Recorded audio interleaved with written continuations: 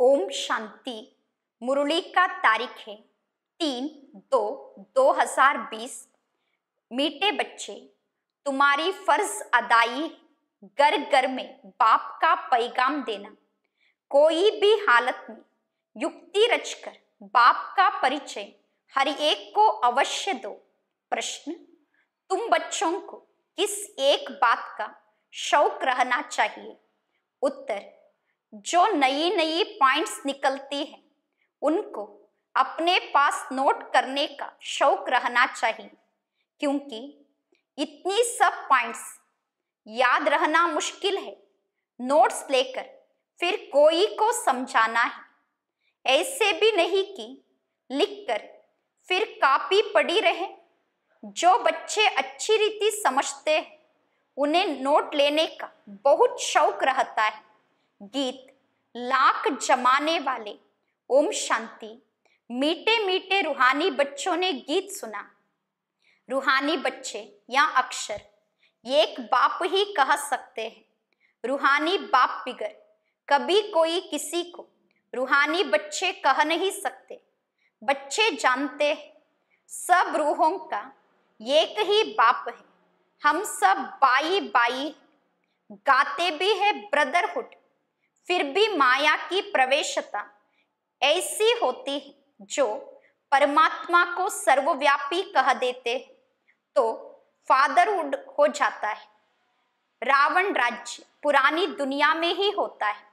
नई दुनिया में राम राज्य अथवा ईश्वरीय राज्य कहा जाता है। यहाँ समझने की बातें दो राज्य ज़रूर है। ईश्वरीय राज्य और असुरी राज्य। नई दुनिया और पुरानी दुनिया। नई दुनिया ज़रूर बाप ही रचते होंगे। इस दुनिया में मनुष्य नई दुनिया और पुरानी दुनिया को भी नहीं समझते, गोया कुछ नहीं जानते, तुम भी नहीं जानते थे, बेसमझते। नई सुख की दुनिया कौन स्थापन करता है? फिर पुरानी दुनिया में दुख क्यों होता है? स्वर्ग से नरक कैसे बनता है? या किसी को भी पता नहीं इन बातों को तो मनुष्य ही जानेंगे ना। देवताओं के चित्र भी हैं तो ज़रूर। आदि सनातन देवी देवताओं का राज्य था। इस समय नहीं है या है प्रजा का प्रजा पर राज्य। बाप भारत में ही आते हैं। मनुष्यों को या पता नहीं है कि शिव बाबा, भारत में आकर क्या करते? अपने धर्म को ही भूल गए। तुमको अब परिचय देना है। त्रिमूर्ति और शिव बाप का, ब्रह्मा देवता, विष्णु देवता, शंकर देवता कहा जाता है। फिर कहते हैं, शिव परमात्माय नमः। तो तुम बच्चों को त्रिमूर्ति शिव का ही परिचय देना है। ऐसी ऐसी सर्विस करनी है। कोई भी हालत में बाप का परिचय सबको मिले तो बाप से वर्षा ले लेवे। तुम जानते हो, हम अभी वर्षा ले रहे हैं। और भी बहुतों को वर्षा दिलाना है। हमारे ऊपर फ़र्ज़ अदाई घर घर में बाप का पैगाम देने की। वास्तव में मैसेंजर एक बाप ही है। बाप का परिचय। बाप तुमको देते बाप अपना परिचय तुमको देते तुमको फिर औरों को बाप का परिचय देना है। बाप की नॉलेज देनी है। मुख्य है त्रिमूर्ति शिव। इनका ही कोट ऑफ़ आर्म्स बनाया है। गवर्नमेंट इनका यथार्थ अर्थ नहीं समझती है। उसमें चक्र भी दिया है। चरके मिसाल और उसमें फिर लिखा है सत्यमेव जयते। इनका अर्थ तो निकलता नहीं, या तो संस्कृत अक्षर है। अब बाप तो है ही ट्रुथ, वहाँ जो समझाते हैं, उससे तुम्हारी विजय होती है। सारे विश्व पर बाप कहते हैं, मैं सच कहता हूँ, तुम इस पढ़ाई से सच्चा सच्चा नारायण बन सकते हो। वो लोग क्या क्या अर्थ निकालते हैं, वहाँ भी उनसे पूछना चाहिए। बाबा तो अनेक प्रकार से समझाते हैं। जहाँ जहाँ मेला लगता है, वहाँ नदियों पर भी जाकर समझाओ।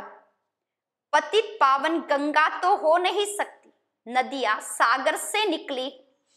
वहाँ तो पानी का सागर, उनसे पानी की नदियाँ निकलती है। ज्ञान सागर से ज्ञान की नदियाँ निकलेगी। तुम माताओं में अब ज्ञान है। गौमुख पर जाते हैं। उनके मुख से पानी निकलता है। समझते हैं, यहाँ गंगा का जल है। इतने पढ़े लिखे मनुष्य समझते नहीं कि यहाँ गंगा जल कहाँ से निकलेगा। शास्त्रों में है कि बाण मारा और गंगा निकल आई। अब यहाँ तो है ज्ञान की बातें। ऐसे नहीं कि अर्जुन ने बाण मारा और गंगा निकल आई। कितना दूर दूर तीर्थ पर जाते कहते हैं शंकर की जटाओं से गंगा निकली, जिसमें स्नान करने से मनुष्य से परी बन जाते हैं मनुष्य से देवता बन जाते। यहाँ भी परी मिसाल है ना? अब तुम बच्चों को बाप का ही परिचय देना है, इसीलिए बाबा ने यह चित्र बनवाए हैं। त्रिमूर्ति शिव के चित्र में सारी नॉलेज है। सिर्फ़ उनों के त्रिमूर्ति के चित्र में नॉलेज देने वाला शिव का चित्र नहीं है। नॉलेज लेने वाले का चित्र है। अभी तुम त्रिमूर्ति शिव के चित्र पर समझाते हो। ऊपर है नॉलेज देने वाला। ब्रह्मा को उनसे नॉलेज मिलती है, जो फिर फैलाते हैं। इसको कहा जाता है ईश्वर के, धर्म के स्थापना की मिशनरी। या देवी देवता धर्म बहुत सुख देने वाला है। तुम बच्चों को अपने सत्य धर्म की पहचान मिली है। तुम जानते हमको भगवान पढ़ाते हैं। तुम कितना खुश होते हो, बाप कहते हैं। तुम बच्चों की खुशी का पारावार नहीं होना चाहिए, क्योंकि तुमको पढ़ाने वाला स्वयं भगवान है। भगवान तो निराकार शिव है, ना कि श्री कृष्ण। बाप बैठ समझाते हैं, सर्व का सदगति दाता एक है। सदगति सत्युग को कहा जाता है, दुर्गति कलयुग को कहा जाता है। नई दुनिया को, नई पुरानी दुनिया को पुरानी ही कहेंगे। मनुष्य समझते हैं, अभी दुनिया को पुराना होने में चालीस हज़ार वर्ष चाहिए। कितना मूंछ पड़े सिवाय बाप के, इन बातों को कोई समझा ना सके। बाबा कहते हैं, मैं तुम बच्चों को राज्य भाग्य दे, बाकी सबको घर ले जाता हूँ। जो मेरी मत पर चलते हैं, वहाँ देवता बन जाते हैं। इन बातों को तुम बच्चे ही जानते हो, नया कोई क्या समझेगा? तुम मालियों का कर्तव्य है, बगीचा लगाकर तैयार करना। बागवान तो डायरेक्शन देते हैं। ऐसे नहीं, बाबा कोई नइयों से मिलकर ज्ञान देंगे। यहाँ काम मालियों का है, समझो। बाबा कलकत्ते में जाए तो बच्चे समझेंगे। हम अपने ऑफिसर को, फलाने मित्र को बाबा के पास ले जाए। बाबा कहेंगे, वहाँ तो समझेंगे कुछ भी नहीं। जैसे बुद्धू को सामने ले आकर बिठाएँगे इसीलिए बाबा कहते हैं नई को कभी बाबा के सामने लाकर नहीं बिठाओ नईयों को कभी बाबा के सामने लेकर ना आओ। या तो तुम मालियों का काम है, ना कि बागवान का। माली का काम है, बगीचे को लगाना। बाप तो डायरेक्शन देते हैं ऐसे ऐसे करो। इसीलिए बाबा कभी नए से मिलता नहीं परंतु कहा? मेहमान होकर, घर में आते हैं तो कहते हैं, दर्शन करें। आप हमको क्यों नहीं मिलने देते शंकराचार्य आदि पास कितने जाते हैं? आजकल शंकराचार्य का बड़ा मर्तबा है। पढ़े लिखे हैं, फिर भी जन्म तो विकार से ही लेते हैं ना। ट्रस्टी लोग गद्दी पर कोई को भी बिठा देते सबकी मत अपनी अपनी बाप खुद आकर बच्चों को अपना परिचय देते हैं कि मैं कल्प कल्प इस पुराने तन में आता हूँ। यहाँ भी अपने जन्मों को नहीं जानते शास्त्रों में तो कल्प की आयु ही लाखों वर्ष लगा दी है। मनुष्य तो इतने जन्म ले नहीं सकते फिर जानवर आदि की भी योनिया मिलाकर चौरासी लाख बना दी है। मनुष्य तो जो सुनते हैं, सब सत सत करते रहते हैं। शास्त्रों में तो सब है, भक्ति मार्ग की बातें। कलकत्ते में देवियों की बहुत शोभावान, सुंदर मूर्तियाँ बनाते हैं, सजाते हैं, फिर उनको डुबो देते हैं। यहाँ भी गुड़ियों की पूजा करने वाले, बेबीज ही टहरे बिल्कुल इनोसेंट, तुम जानते हो, यहाँ है नरक। स्वर्ग में तो अतः सुखता। अभी भी कोई मरता है तो कहते हैं, फलाना स्वर्ग पदारा तो ज़रूर। कोई समय स्वर्ग था अब नहीं है। नरक के बाद फिर ज़रूर स्वर्ग आएगा। इन बातों को भी तुम जानते हो। मनुष्य तो रिंचक भी नहीं जानते। तो नया कोई बाबा के सामने बैठ क्या करेंगे? इसीलिए माली चाहिए, जो पूरी परवरिश करे। यहाँ तो माली भी डेर के डेर चाहिए। मेडिकल कॉलेज में कोई नया जाकर बैठे तो समझेगा कुछ भी नहीं। या नॉलेज भी है नहीं, बाप कहते हैं, मैं आया हूँ सबको पावन बनाने। मुझे याद करो तो पावन बन जाएँगे। इस समय सब है तमो प्रदान आत्माएँ। तब तो कह देते आत्मा सो परमात्मा। सब में परमात्मा है तो बाप तोड़े ही बैठ। ऐसे से माता मारेगा। या तो तुम मालियों का काम है, कांटों को फूल बनाना। तुम जानते हो भक्ति है रात, ज्ञान है दिन। गाया भी जाता है, ब्रह्मा का दिन, ब्रह्मा की रात। प्रजापिता ब्रह्मा के तो ज़रूर बच्चे भी होंगे ना। कोई को इतना भी अकल नहीं, जो पूछे कि इतने ब्रह्मा कुमार कुमारिया है, इनका ब्रह्मा कौन है? अरे प्रजापिता ब्रह्मा तो मशहूर है। इन द्वारा ही ब्राह्मण धर्म स्थापन होता है। कहते भी है ब्रह्म देवताय नमः।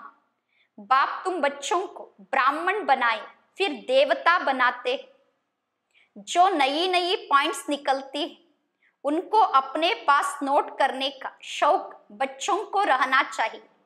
जो बच्चे अच्छी रीति समझते हैं, उन्हें नोट्स लेने का बहुत शौक रहता है। नोट्स लेना अच्छा है क्योंकि इतनी सब पॉइंट्स याद रहना मुश्किल है। नोट्स लेकर फिर कोई को समझाना, ऐसे नहीं कि लिखकर फिर कापी पड़ी रहे। नई नई पॉइंट्स मिलती रहती है तो पुराने पॉइंट्स की कापियाँ पड़ी रहती है। स्कूल में भी पढ़ते जाएँगे। पहले दर्जे वाली किताब पड़ी रहती है। जब तुम समझाते हो तो पिछाड़ी में या समझाओ कि मन मनाबो बाप को और सृष्टि चक्र को याद करो। मुख्य बात है मन मनाबो मामेकम याद करो। इसको ही योग अग्नि कहा जाता है। भगवान है ज्ञान का सागर। मनुष्य है शास्त्रों के सागर। बाप कोई शास्त्र नहीं सुनाते। वहाँ भी शास्त्र सुनाए तो बाकी भगवान और मनुष्य में फ़र्क क्या रहा? बाप कहते हैं, इन भक्ति मार्ग के शास्त्रों का सार मैं तुमको समझाता हूँ। वहाँ मुरली बजाने वाले सर्प को पकड़ते हैं तो उसके दांत निकाल देते हैं। बाप भी विष पिलाना तुमसे चुड़ा देते हैं। इसी विष से ही मनुष्य पतित बने हैं। बाप कहते हैं, इनको छोड़ो। फिर भी छोड़ते नहीं हैं। बाप गोरा बनाते हैं, फिर भी गिरकर काला मोह कर देते हैं। बाप आए तुम बच्चों को ज्ञान चिता पर बिटाने ज्ञान चिता पर बैठने से तुम विश्व के मालिक जगत जीत बन जाते हो। अच्छा मीठे मीठे सिकिलदे बच्चों प्रति माता पिता बाप दादा का याद, प्यार और गुड मॉर्निंग। रूहानी बाप की रूहानी बच्चों को नमस्ते।